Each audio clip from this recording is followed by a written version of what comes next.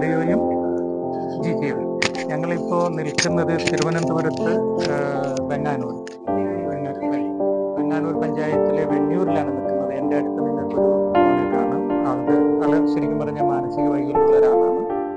ആളുടെ അപ്പനാണ് നിൽക്കുന്നത്.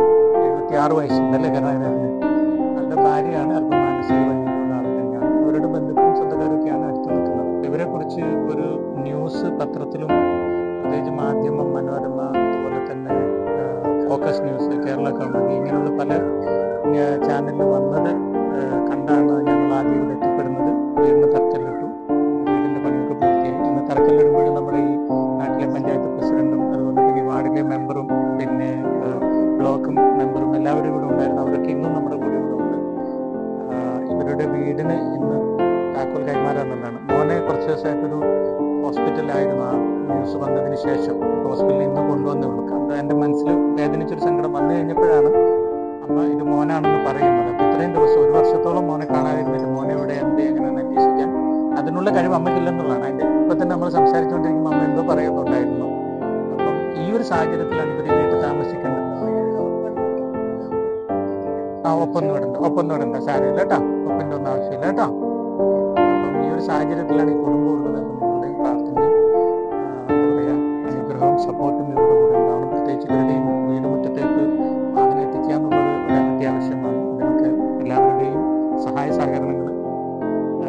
തൃശ്ശൂരിൽ നിന്ന് വന്ന ഞങ്ങളെ അറിയുന്നു എന്നുള്ളതാണ് നിനക്ക് എന്തെങ്കിലും പറയാനുണ്ടോ? എന്റെ കുടുംബത്തിന്റെ ദുരിതാവസ്ഥയും ഭവനമില്ലാത്ത അവസ്ഥയും കണ്ടതിന് മനോഹരമായ ഒരു വീട് പണിത് കൊടുത്ത ഗ്രൂപ്പിനോടുള്ള നന്ദി അവസരത്തിൽ പഞ്ചായത്തിനും ഈ പ്രദേശത്തെ ജനങ്ങൾക്കും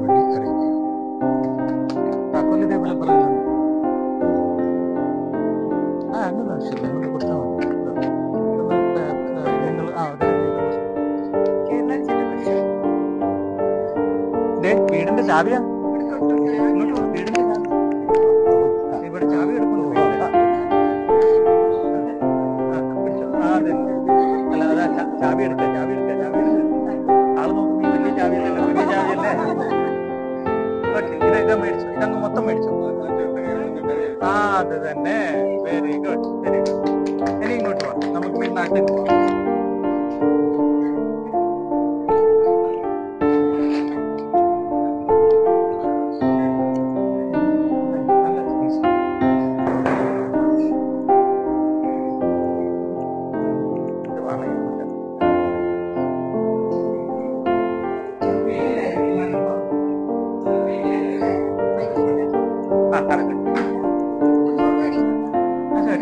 ശരി.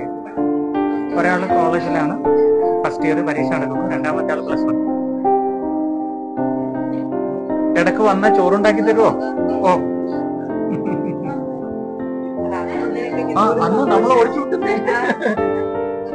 ഭയങ്കര ആദ്യ ദിവസം ഭയങ്കര ബഹളമൊക്കെ ആയിരുന്നു. പത്രക്കാരൊക്കെ വന്നപ്പോഴത്തേക്കും ഈ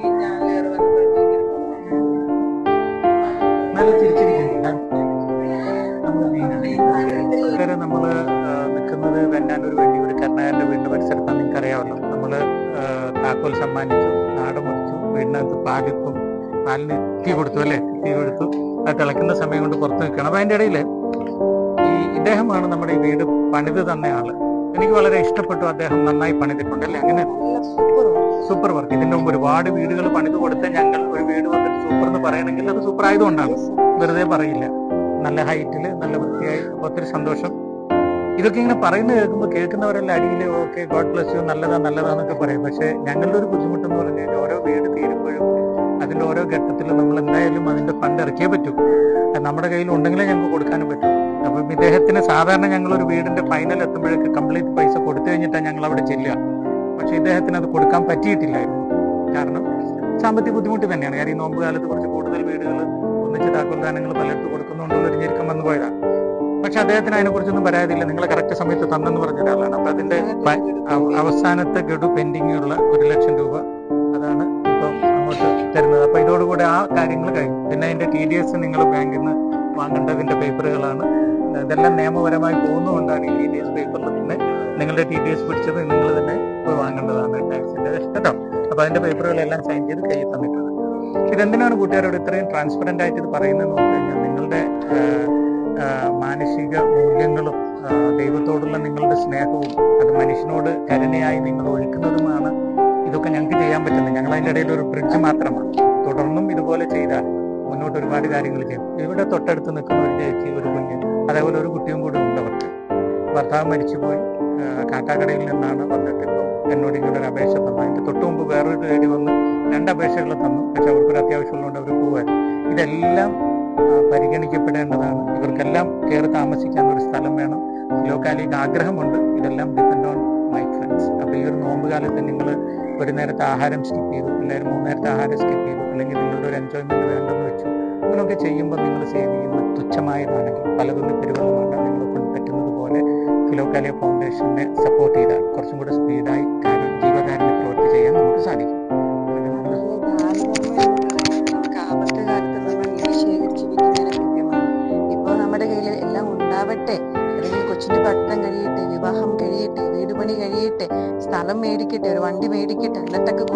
വിചാരിച്ചു കഴിഞ്ഞാൽ ഒരിക്കലും സാധാരണ നമ്മുടെ മനുഷ്യരുടെ ആവശ്യങ്ങൾ ഒരു അറുതി ഉണ്ടാവില്ല. അപ്പം ഉള്ളപ്പോഴുള്ളത് പോലെ ബൈബിൾ പറയുന്നത് പോലെ വിധവയുടെ കാണിക്ക പോലെ ഈ നോമ്പ് കാലത്ത് നമ്മൾ ഇറച്ചി മീന് മുട്ട ഇതൊക്കെ മാറ്റി വെക്കുന്നില്ല നമ്മുടെ ദശാംശം അല്ലേ? നമ്മൾ എത്രത്തോളം നമുക്ക് കിട്ടുന്ന സമ്പത്തിന്റെ ദശാംശം കൊടുക്കുന്നു അതിനനുസരിച്ചിട്ടുള്ള അനുഗ്രഹങ്ങൾ തീർച്ചയായിട്ടും നമ്മുടെ കുടുംബത്തിൽ വരും. മുടയിൽ കിടക്കുന്ന മക്കളുടെ വിവാഹം നടക്കും മുടയിൽ കിടക്കുന്ന സ്ഥല കച്ചവടം നടക്കും വീടിന്റെ പണി മുടക്കെടുക്കുകയാണെങ്കിൽ അത് നടക്കും. എല്ലാം കറക്റ്റ് സമയത്ത് ദൈവത്തിനും അർഹതപ്പെട്ടവർക്കും കുടിക്കേണ്ടത് കൊടുക്കുമ്പോൾ വെള്ളം ദൈവം ധാരാളമായിട്ട് ശരി ഞങ്ങളുടെയൊക്കെ എക്സ്പീരിയൻസ് ആണ്. അതുകൊണ്ട് ഞങ്ങൾ എപ്പോഴും തീർച്ചയായിട്ടും അർഹതപ്പെട്ടവരുടെ കയ്യിലേക്ക് എത്തിക്കാനാണ് ഞങ്ങൾ നോക്കുന്നത്. ഇവിടെ വന്നപ്പോൾ ഒരുപാട് പേര് അഭിഷേകമായിട്ട് വരുന്നു. ഞങ്ങൾക്ക് എന്ത് പറയേണ്ടതെന്ന് അറിയത്തില്ല. പക്ഷെ നിങ്ങളുടെ സപ്പോർട്ട് ഞങ്ങളുടെ കൂടെയുണ്ട്. അത് തന്നെയാണ് ബലം. തീർച്ചയായിട്ടും നോക്കുകയാണെങ്കിൽ പ്രത്യേകം നിങ്ങൾക്ക് നിങ്ങളുടെ സപ്പോർട്ട്